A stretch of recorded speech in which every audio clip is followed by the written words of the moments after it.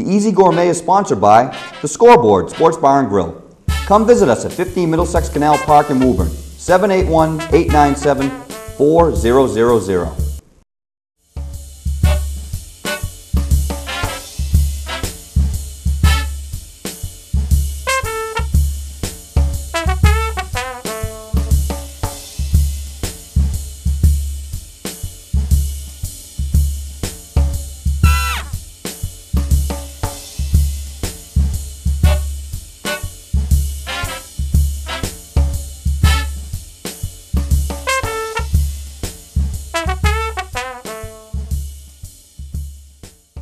Hello, everybody, and welcome back to the Easy Gourmet. I'm your chef and host, Vinnie Ferlisi. Uh, we have an exciting show for all of you today. Today, we're going to be doing uh, steamed mussels uh, with a nice uh, white sauce and a butter sauce.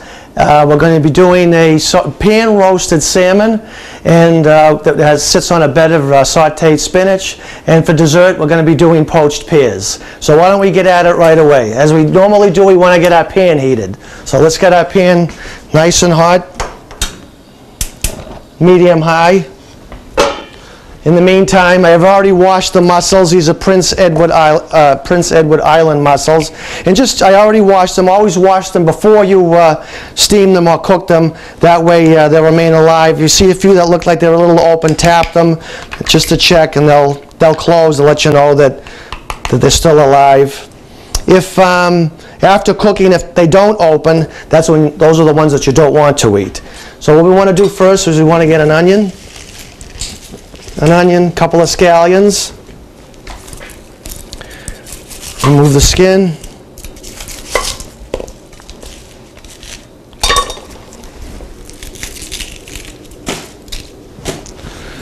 Get rid of the ends. And it's just a rough chop. You don't we're not going to do anything fine for this particular recipe. So roughly chop that.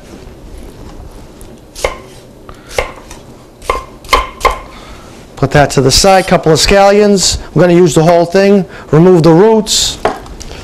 Can slice those on an angle just to give it a little effect while it's in the pan. To, like I said, we want to use the whole thing. Nothing wasted here.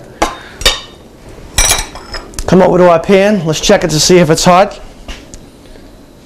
Just a little more. Blast that a little more. Want about a tablespoon or two of butter unsalted butter. As I've said many times, unsalted butter is great because that way you can add the salt to your recipes and adjust them the way you want. A little bit of oil. About a tablespoon or two. We have a two pounds of mussels today. I guess if you were going to go three or four pounds, you might want to go a little bit more butter and a little bit more oil. So we got about a tablespoon, two tablespoons approximately. It's nothing wrong with eyeballing anything. As you know on the show, we kind of eyeball a lot of things. We don't have to measure. Throw the onions and the scallions in.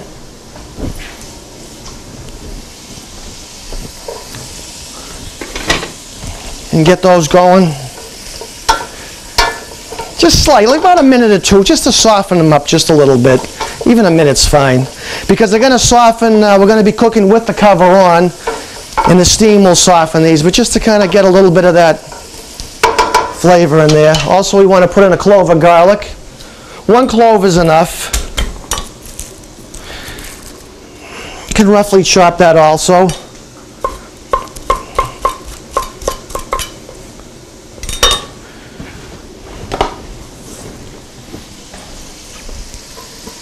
Sprinkle that around.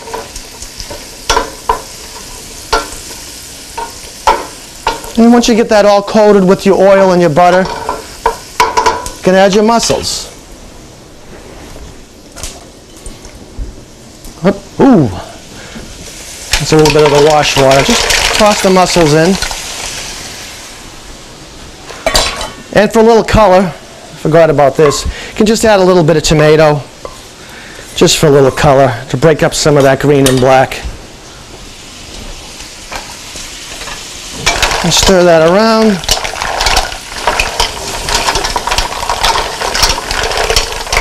It's a very easy recipe. You can serve this as an appetizer or, or as a meal. Now you want to give it about uh, a half to a third of a cup of, um, of vermouth or white wine, whatever you have handy. But make sure it's white. You don't want red in this recipe. It's about a half a cup. Leave that on medium high to high and then cover it. In an 8 to 10 minutes, the mussels will be ready. Uh, for our pan roasted salmon, we're going to have a combination of brown sugar, light or brown, it doesn't make any difference, ground cinnamon, and ground cumin. So what we want is a couple of tables. We're going to be using two six-ounce fillets of salmon. So you want, you know, you want enough to coat both of them. You're only going to be coating one side. So we want uh, a couple of tablespoons of brown sugar. I figure a tablespoon each per uh, piece of salmon.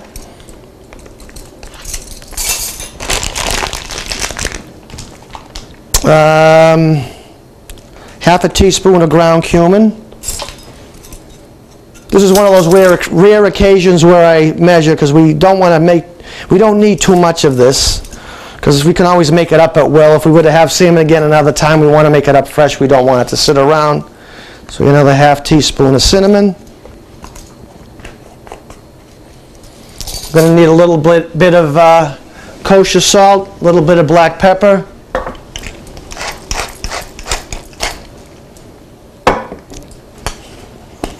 Probably uh, half a teaspoon of kosher salt.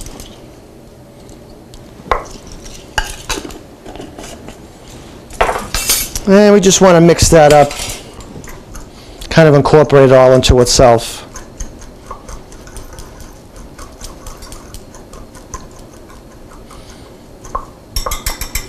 And the salmon fillets I already have ready, they're washed, they're dry. And we want to place, these about six ounces a piece, one portion. So we want to place uh, this on the non-skin side.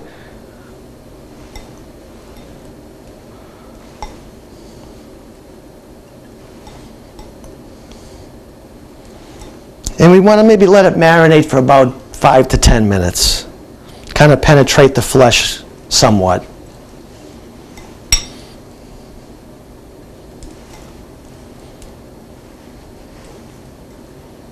And that's all you have to do. So we pat those on. Now we want to get our pan nice and hot. Well, before we do that though, we want to set our oven to 350. And uh, make sure that you can either use a nonstick pan or a pan that isn't nonstick, but make sure you use a pan that has a metal handle that can take heat. So we want to get our pan nice and hot, as we normally do. Why don't I move this to the back burner, just so we can, you guys can see a little better.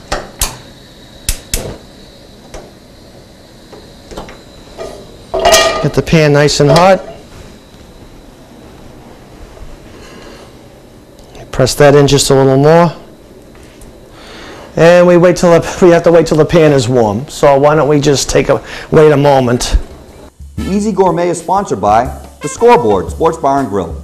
Come visit us at 15 Middlesex Canal Park in Woburn, 781-897-4000. Okay, we have our salmon nice and coated. We just want to put about a tablespoon of oil just to get the bottom coated. Because we don't want to over, overwhelm the fish. You can use vegetable oil or olive oil. Doesn't really matter. Whatever you like. Just coat the bottom. And then put the fish in skin, uh, skin side down. No, put the fish uh, coated side down. The side that we coated. And you can leave the skin on because after this recipe it cooks quite a bit and the skin you can actually eat. Some of it falls off, don't worry about it.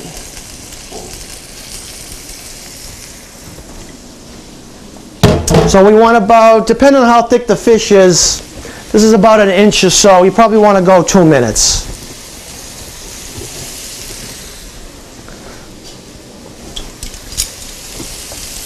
Straighten those out just a little.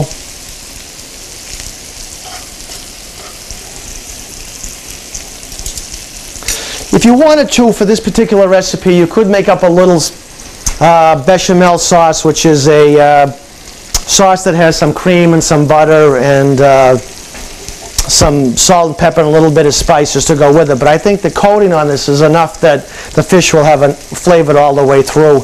You don't really need anything on the side besides maybe just a little slice of lemon. So you want those to go about two minutes. Let's turn this over. So okay, so we're ready to turn these. Been a couple of minutes.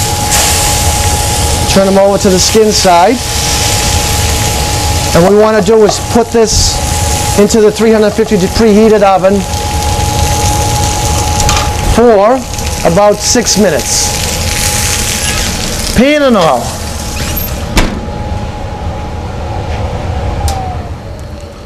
And I think our mussels may be ready. Oh yeah, look at that. So the mussels have been going for about uh, eight to 10 minutes and looks like all of them have opened. That's what you want to check for before you serve them. So you want to let them rest. Take them off the heat and let them rest for about two minutes. Then they'll be ready to serve. All right, so all the uh, salmon's in the oven. Why don't we uh, see how our mussels are? We let them rest for a couple of minutes. And they look really good. Really, really good. Why don't we heat up another pan to have our little spinach side? Hold on one second. This pan is hot, so I want to just be careful. All that juice is all the, uh, the liquor is as they call it from the mussels.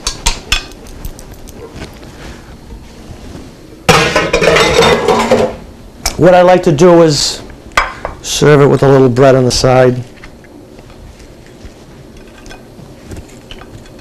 And I like to put a little kosher salt on, just to kind of balance off the brininess.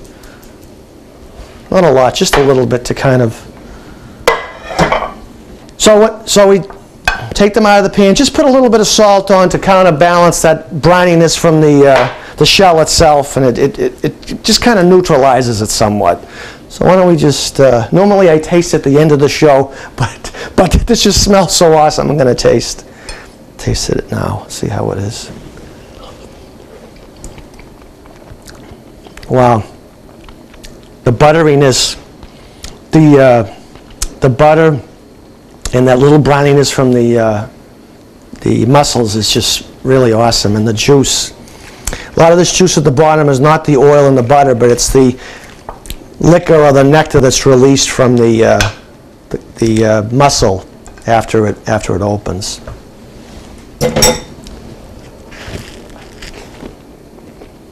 Wow, that is awesome. That is awesome. Um, so right now we have a couple of minutes left for our salmon in the oven. So I have a hot pan going. So we just want a little bit of oil. Don't boil your spinach. You're going to lose all the flavor and all the texture. Just a little bit of oil. Toss your spinach in, or any other, anything else you might want to use. Asparagus is great with this recipe. And just kind of, just kind of, all you want to do is heat that up. A little bit of salt, a little bit of pepper.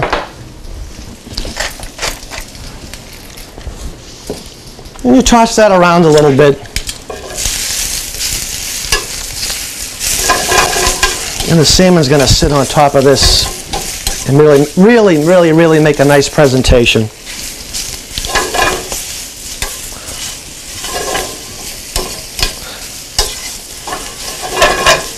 That's all. You just want to leave a little bit of crunch to it. We'll leave that on low while the salmon continues to cook. I think we're about at five minutes. So we'll leave that on low.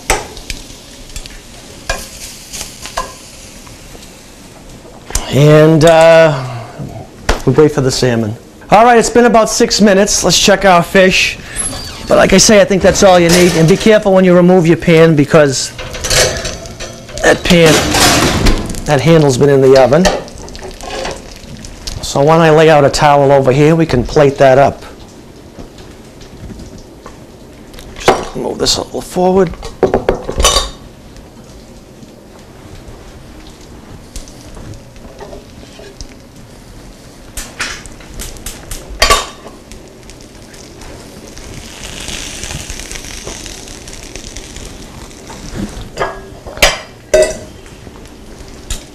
Got a little bit of spinach. And you can flavor this as much as you want. You want a little bit of salt or anything like that, you can do that. Or a little bit of extra pepper. That should remove nicely. Leave the skin on. Like I say, the skin is delicious. And there you have it. Pan roasted salmon on a bed of spinach. Why don't we just give that a little a little lemon to kind of dress that up a little bit. And there you go.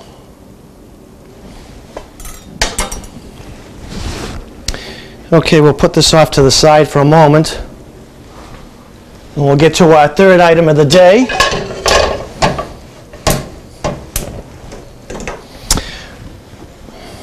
What we're going to do, just for a little a little uh, take, my take on a recipe that I've done for a long time that's very light and very nice, especially when pears are in season. Lemon poached pears. So what we need is pears. And normally it's one per person, so I'm just going to do two today. And we need ourselves a saucepan. A pan big enough to uh, to fit as many pears as you need. This pan like this, this is about a three quart pan. It would take maybe four pears. You probably could squeeze five into it. So what we need is, uh, we need two cups of water. You're saying, why is he measuring? Well, once in a while I do measure. Two cups of water. Um, we need about a half a cup of sugar.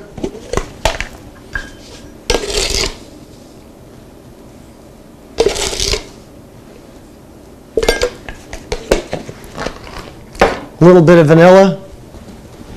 I make homemade vanilla. I just buy the a uh, couple of vanilla beans, put them into a container, and fill this up with brandy.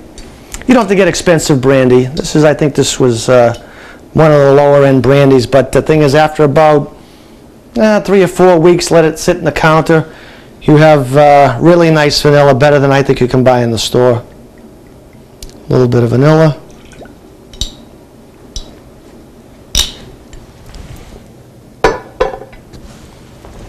A couple of slices of lemon.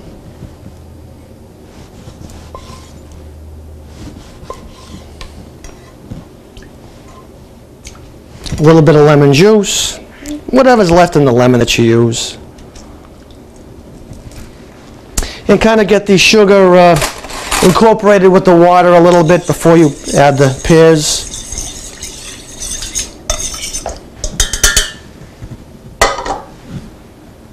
And you want to peel the pears. I tried it with the skin on, it isn't as good. So you just want to peel those. With a potato peeler, if you're good with a paring knife, you could use a paring knife. Just get all the skin off.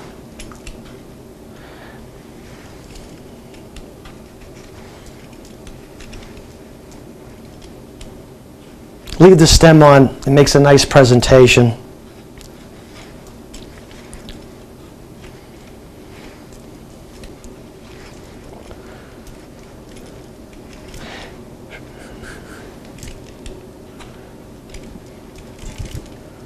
Just cut the bottom a little bit so it stands up in the pan. Just take about a quarter of an inch off.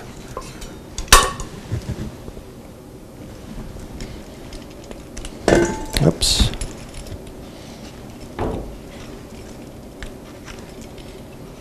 Any kind of pear will do. These uh, Anjou pears are nice, Bartlett pears. You know, I, I wanted to buy for this recipe today red pears, but I didn't see any at the market. But Red, uh, to me, that's one of my favorite pears. They're a little more earthy tasting, and a little, little more dense than, than Bartlett and Anjou pears, and I I really like them. They're hard to find, though. I know you're going to peel them, and you won't see the red, but the, the flesh the- it's, itself is it, it has a little more, like as I say, earthy and dense flavor. I just peel that. And you want to put this on the stove, about medium heat, for about uh, 10 or 15 minutes, basting, basting ever so, a couple of times in those 20, oops, what am I doing? Baste those uh, with the sugar syrup every five or 10 minutes. The total time, cook time is about 10 minutes, uh, 20 minutes, sorry. And through the magic of television,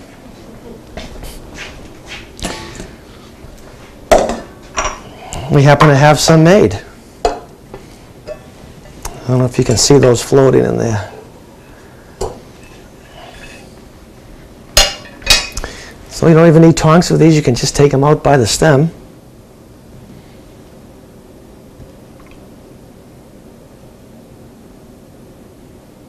You can serve them in your favorite dessert dish. Let's take a little bit of, make them a little flatter so they stand up. Oh yeah, look at that, huh?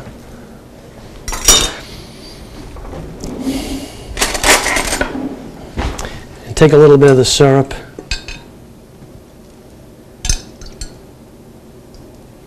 And you can dress this up the way you want. I like to put a little bit of chopped almonds on top, but you could use you could use chopped uh, pistachios. Oh, you don't have to use nuts at all, just to give it a little garnish around. And you could take a little bit of chocolate.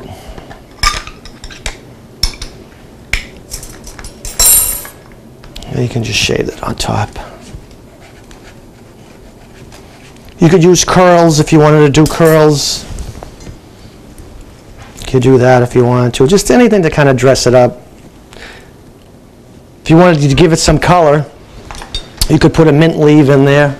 If you had mint leaves or any kind of leaf just to give it a little color. And there's your lemon poached pears for dessert. So to recap today, we had uh, steamed mussels, which had uh, sauteed onion, sauteed scallion. I threw a tomato in just for color, but you don't necessarily need it. You saute a little bit of oil and butter.